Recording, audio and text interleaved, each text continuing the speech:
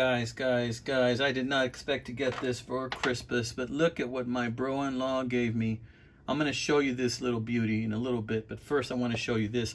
I also got this really cute little, it's like a coin type knife, and uh, it says the brand uh, Guardman, and this was given to me by a friend. Thank you, Alma, for giving me this. This is really cute.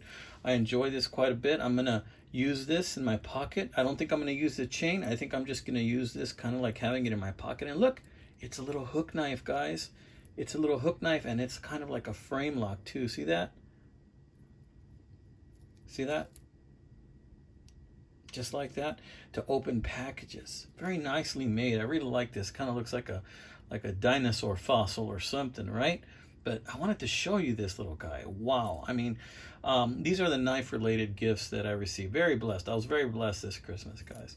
And uh, really love this cute little guy, right? Thank you, Alma. Appreciate that very much. We're going to close that up. Now, my bro-in-law, Gino, you guys know I made a, a video about a little Victorinox knife I gave my bro-in-law. And sometimes we exchange gifts and and he knows that I have a knife channel and and uh, I like to think he sees the videos and guys he bought me a Benchmade and I was totally blown away because when I saw the blue box and I was opening it, I thought, man, I cannot believe that he actually bought me a Benchmade. And if you hear a kitty cat in the back room, excuse my kitty cat. My kitty cat is uh, in heat, so uh, she's looking for romance, and that's why she sounds that way. But in any case, check it out. This is the Benchmade Mini Griptilian 556. This has S30V steel, okay?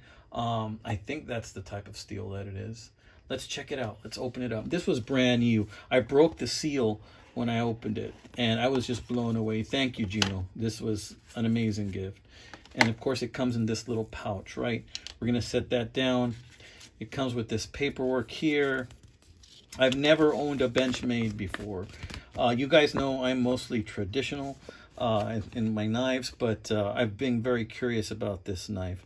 So it is talking about how to use the knife, right? It's got a lot of information there. Not going to go over all that information, but I did want to show you the knife. So let's check out that knife. We're going to pull it out. And then in here, there's something else in here. There's a little blue tag. I don't know what this is. What does this say? Access Benchmade. So I guess this is talking about the access lock. It says the carrying clip has been installed on the right side. I guess it's telling you that you can change it if you want to. So that is pretty cool, right? And here it is. This is the Mini Griptilian. This handle is uh, made of metal, but it's very grippy, and it has these little tiny dots there, also made of metal. And it's got this access lock. It's got the thumb stud, and there you have the Benchmade symbol right there. And what does it say there? It says Mel Pardue Design, S30V steel right? It's got a dual thumb stud, jimping right there also. Nice, real sweet. Let's check out that axe lock. What do you say? Look, it's got jimping right here along the spine. It's got jimping back here where you need it. And this mini Griptilian, it's just the perfect size, guys. Let's try that axe lock. We're going to pull it back down and, oh my gosh, that is smooth. That is silky, silky smooth. If, if I let go, it kind of wants to grip the knife again. So if I keep it pressed down, it, it kind of like controls, I can control kind of like the friction on that. Of course, if I pull it all the way back down, it is smooth as silk, right? Um, this thing is, I think, what some people call drop shutty, right? It drop shuts down a little bit. Maybe not all the way, will it? No, maybe with a little bit of, of uh, breaking in, this bad boy is going to just drop really nicely. This is my left hand, so this is an ambidextrous knife.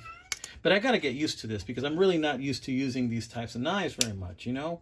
Uh, it's not that I don't know how, of course, they're very elementary. Uh, you know, us knife guys can figure out how to use these things, but it's just a little bit out of my wheelhouse. You know what I mean? Because I'm more of a traditional guy and but I'm gonna enjoy using this knife. Thank you, Gino. I mean, it's just the perfect size. I mean, let's see how long this thing is in the open position. In the open position, we're gonna be one, two, three, four, four inches closed in the open position. That to me is just about the perfect size for this knife. Um, you know, that's about the size uh, closed of a buck 110. I'm sorry, of a buck 112, which you guys know I'm crazy about, right?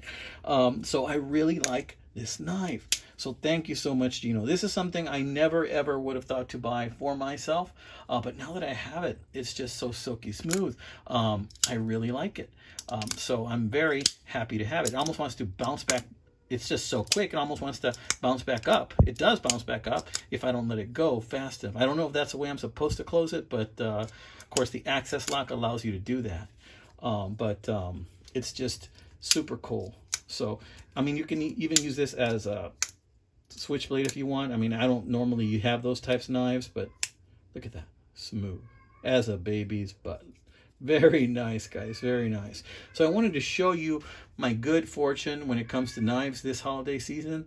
Um, I'm just totally blown away by this. See here, you can change the clip right here to this side if you want. Again, excuse my my little cat back there. If you hear it, uh, it's making some interesting noises. It's got an appointment with the vet January 17th to get fixed. Um, it is, uh, it's interesting with that cat, right? Uh, she's coming into her own and she wants some attention, but I will not dare let her out because uh, then we'll have a whole bunch of cats running around here. Uh, a whole lot more than we already do. All right, amigos. So check it out. Tell me what you think. Do you own this knife? Do you own one of these 556 mini griptilians? And if so, tell me what you think about it. I know I'm late in the game when it comes to these Benchmade knives. I know that these have been around for a while, and I know that many of you guys probably have these out there. What do you think about them? Do you like them? Do they have any shortcomings? Any advantages I need to know about? You know, I'm just not used to carrying these guys, so let me know. School me on this stuff because I'm new to this game. I'm mostly a traditional guy. Look, it's got kind of like a stonewash finish to it. Check out that grind right there. If you look closely, it kind of has another grind right here. See? Very, very subtle. Very subtle. Very nice. Almost has like a Scandi grind here, and then it kind of has like another faux. It's not a swedge, I wouldn't call it, because it doesn't go all the way in. See how the blade just tapers down in thickness? It just looks like a very solid blade to me, guys. Drop point design, very, very nice. Uh, thank you so much, Gino. Greatly appreciated, my friend, my bro. Thank you so much for this. Um, you guys take care, and I hope you guys had a Christmas that was as merry as mine. I have a lot more videos coming out. I have so many knives I want to show you guys, but I wanted to show you uh, my good fortune during Christmas. Can you believe it? A Benchmade, guys. A Benchmade. Thank you, my friends.